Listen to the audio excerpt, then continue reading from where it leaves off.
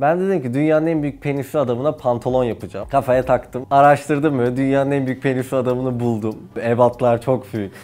Söylemeyeyim özgüvenim düşer yani.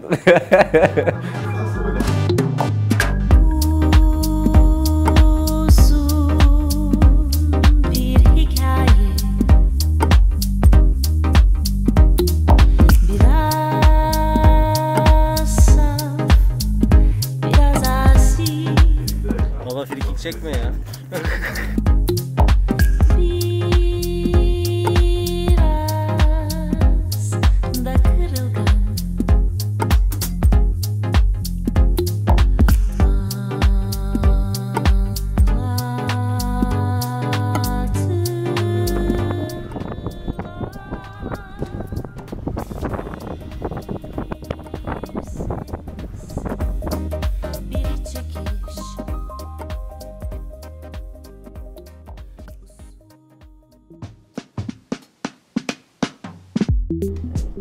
hazır olduğu zaman yeşil ışık yanar zaten. Trafik lambası gibi düşün. Kırmızı yanıyor. Gördüğünüz gibi performans sanatçısı olmak zor iş baba. Okula ilk girdiğim günden itibaren ben burada ne yapıyorum dedim. Girdiğim dersten hiç keyif almamıştım. Üniversite dev gibi bir kütüphane, binlerce kitap var. Ve hani ben salak gibi sevmediğim bir kitabı okuyorum. Geleceğimi göremiyordum. Ya bu benim varoluş amacım ne gibisinden böyle varoluşsal bir krize girdim. Sonra dedim ki hani ben Avrupa'da olmak istiyorum. Avrupa'da ne yapacağım ki yani yine hala ne yapmak istediğimi bilmiyorum. Sonra bir gün bir arkadaşımla otururken Tuna işte çizgileri ne kadar tatlı, çok güzel işte bir atölyeye gitsene kendini geliştirirsin. Hani belki bir portfolyo falan da hazırlarsın. Hiç portfolyo hazırlayıp bir sanat okuluna başvurmak gibi bir amacım yoktu. Ulan zaten hiçbir şey yapmıyorum. Ne yapmak istediğimi de bilmiyorum. Performans sanatları ne olduğunu bilmiyordum bile. Sonra Çınar Hoca sağ olsun kabul etti. Bir de hani herkes 11, 12. sınıftan biri oraya gidip üniversiteye hazırlanmak amacıyla Çınar Hoca'ya başvuruyorlar. Ben hobi olarak gelmek istiyorum dedim. 6 aylık, 7 aylık yakın iş çıkardık beraber. Ee, Gerrit Rietveld Akademi'ye Amsterdam'a başvurduk. Çınar Hoca bana dedi ki Tuna kabul almayabilirsin. Zor bir okul girmesi. Haberin olsun dedi. Başvurdum, kabul aldım. Nasıl mutluyum.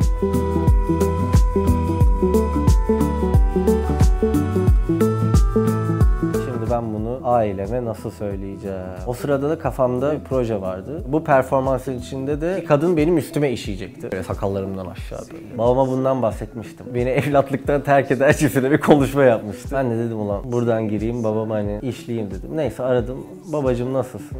Sana bir iyi bir kötü haberim var. Tamam önce iyiyi söyle. Üstüme birinin işleyeceği performansı yapmaktan vazgeç dedim. Oh aferin oğlum işte doğru karar vermişsin. Hiç gerek yok. Ne öyle çişli performans falan. E kötü haber ne dedi? Bir hafta sonra gözlerimi bir ay boyunca kapatacağım dedim. Allah belanı versin geri zekalı keşke üstüne işetseydin daha iyiydi bilmem ne. Hocalarım çok böyle kapsamlı ve geniş bir proje olduğunu söylüyor. Hocaların Allah belanı versin. Hepsi onların başından çıkıyor zaten. Niye adam akıllı gibi işletme okumaya devam etmedin ki? Da da da da da da da. Performansla gidecek buna. Nasıl hissediyorsunuz? Yani nasıl hissedeyim? Acı biber yiyecekmiş. İnşallah midesi acımaz çok. Bu kadarcık acıyı bile yiyemiyorsun. Kötü oluyorsun. Ne yapacaksın bilmiyorum. Bu okey bence. Onu performansta göreceğiz aynen. Abi şu an bayağı destek oluyorlar ya. Hala çok şüpheciler. Korumacılık ve hani bir tedirginlik hissi hala üstlerinde var. Bu performansla nasıl para kazanacaksın? Yönetmen mi olsan? Türkiye'de geçerliliği var mı? Bu işi yapabilecek misin? Benim çok da böyle iplemediğim sorular soruyorlar. İlk beni Amsterdam'a ziyarete geldiler birinci sınıfın sonunda. Bakın böyle bir iş yaptım deyip izlettim. Babam izleyemedi. Çok iğrendi bir kere. Patatesler ağzından fırlayıp salyalı falan olduğum anı adam bakamadı böyle ekrana elini uzatıp yani Tuna izleyemiyorum geç şunu dedi. Bundan önce ilk onlarla paylaştığım iş hani en sevdiğim performans dışı işim bu arada. Okulun ilk döneminde bir design dersim vardı. Herhangi bir kişiye özel bir kıyafet yapmamız lazım. Ben dedim ki dünyanın en büyük penisli adamına pantolon yapacağım. Adamı Facebook'tan ekledim. Ama çok uzun bir mesaj attım böyle. Merhaba adını paylaşmıyorum çünkü paylaşmamamı istedi. Bana ölçülerini yollayabilir misiniz? Pantolonu yaptıktan sonra da sana yollayacağım. Dilediğin gibi giyebilirsin dedim. Adam bana ölçüleri yolladı. Abi ebatlar çok büyük. Abi hatırlamıyorum da adamın penisi böyle 57 sa- yani şöyle bir şey, kalınlığı şöyle bir şey. Böyle pantolon olmuş mu diye babama giydirdim. Gazeteyle doldurmak zorunda kaldık böyle. Annem geldi. Erkan o halin ne falan bir şeyler diyor böyle. Adam bana hala kendi crush'tan oyun isteği yolluyor.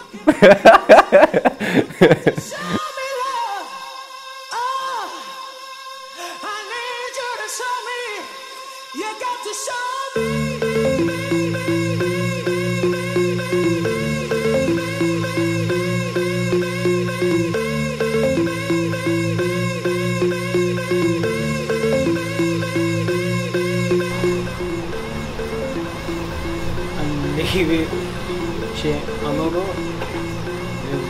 Şiddet var oradaki insana. Ya bu ne amına koyayım yani? Öncelikle dayak yediğin için seni tebrik ediyorum. Yani işine saygın var.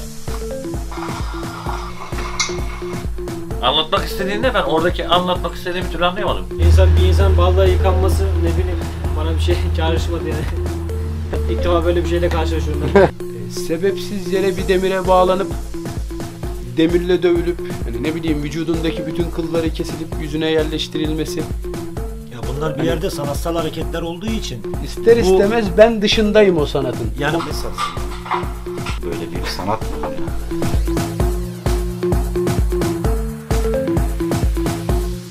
Barbaros mesaj atmış. Türkiye'nin yetiştirdiği en büyük performans sanatçısı siz misiniz diyor.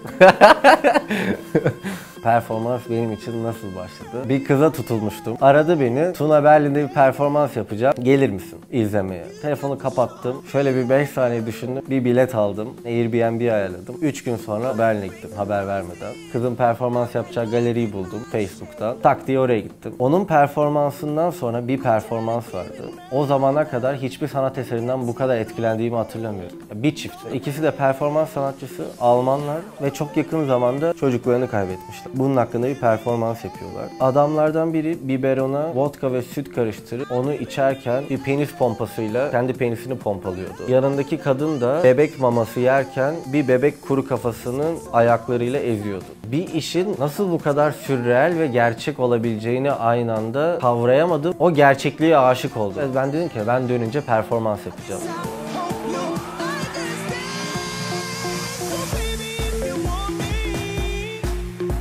Kendim karakter olarak pozitif bir insanım. Neşeli, güler yüzlü, insanlara güler yüzlü davranan ve yani sanata dair olan böyle zevkim ve uygulamalarım biraz karanlık olabiliyor. Bunun nedenini ben de çok düşün. Neden kendime zarar veriyorum? Neden benim yaptığım tüm işlerde kendimi bu kadar zorlayıp bir karanlık bir, bir his var orada. Ya bir denge hayat ve yaşam her şey bir denge olduğu için hani bu pozitifliği böyle bir negatifle hani bu ışıltıyı böyle bir karanlıkla dengelemem lazım gibi hissediyorum. Ama şunun kesinlikle farkındayım. İçimde kötü bir his olduğu zaman bunu bir performans yaparak ifade etmeden kendimi iyi hissedemiyorum.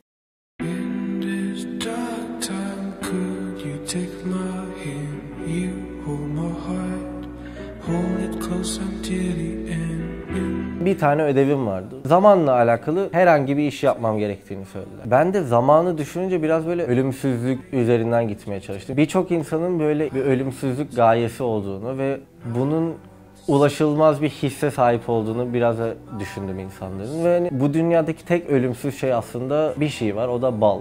Ne kadar süre geçerse geçsin aynı şekilde formunu koruyup hiç bozulmuyor. Ben de böyle ölümsüzleşmeye çalışmak adına bir ritüel hazırlayıp kendimi 9 kilo balla kapladım. Bir kitapta mı bir filmde mi bir laf vardı çok ilgimi çekmişti. Hitler, Da Vinci, Atatürk falan bu insanların hepsi ölümsüz isimleri bizimle yaşıyor ve onlar hakkında konuşmaya devam ediyoruz. Onlar hala ölümsüz ama onları hatırlayan herkes öldüğü zaman onlar da ölecek.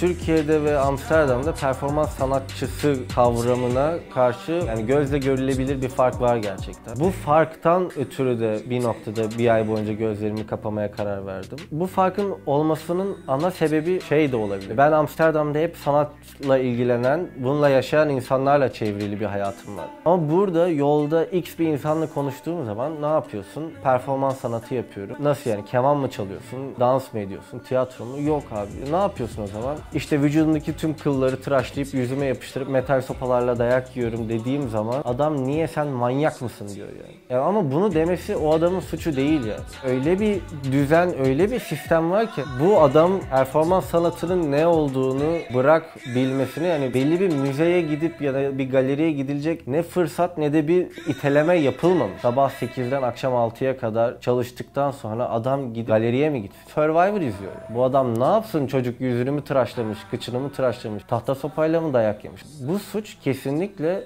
sanatın endüstriyelleşip beyaz duvarların arasına sıkıştırılıp Sadece belli zengin, okumuş, etmiş, sanata para harcayabilecek insanlara uyarlanmış galerilerin ve müzelerin suçu bence. Sanat o kadar elitistleşmiş bir şey ki şu anda. Sanatçılara uzaylı gibi bakılıyor bazen. E Ben o yüzden bir noktada bir ay boyunca gözlerimi kapamak istedim. Öyle bir iş yapmak istedim ki 4 yaşındaki çocuk bile anlayıp kendinden bir parça bulabilsin yani. Türkiye'de birçok genç ne yapmak istediğini bulamıyor. Onların bunu bulmasını sağlamaları için bir platform oluşturulmuyor, bir olanak sağlanmıyor. Ailemin o kadar bir suçu olmasa da nasıl desem yani farkında olmasalar bile böyle bir suç işlediklerinin birçok aile de bunun farkına varmasa da hani ebeveynlerin bunu çocuklarına hissettirdiklerinin çok büyük hani tüm arkadaşlarımdan da tanıdığım gençlerden de farkındaydım zaten. O hissi anlatmak istedim. Manfredi şahşalı bir e, taht vardı köpükten yapılmış. O böyle hem gömlek hem etek giyerek böyle ebeveyn figürünü temsil ediyordu hem anne ve baba. Ben de tahta dev gibi küpün içinde tıpkı böyle bir yumurta gibi sahnenin ortasında bekliyordum. Geldi ilk başta beni yumurtamdan kırarak dünyaya getirdi ve ben de var olmanın ve basıncın verdiği acıyla bağırıp çığlık atmaya başladım. Benim o performanslı kutudan çıkışım performans hayatımın bir başlangıcı ve hani belki de şu an olduğum insanın başlangıç noktası oydu